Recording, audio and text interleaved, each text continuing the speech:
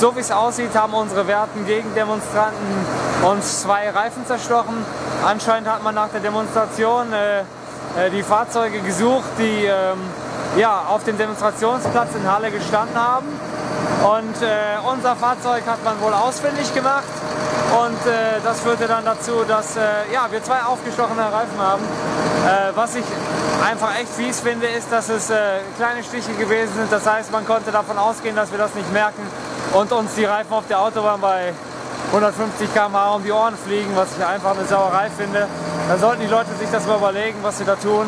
Ähm, wir freuen uns natürlich, wenn ihr über PayPal oder über unsere Kontonummer uns eine kleine Spende zukommen lässt, um ein paar neue Reifen zu kaufen. Denn äh, da wird uns wohl nichts anderes übrig bleiben, um nach Hause zu kommen. Also Leute, supportet uns. Bis dann.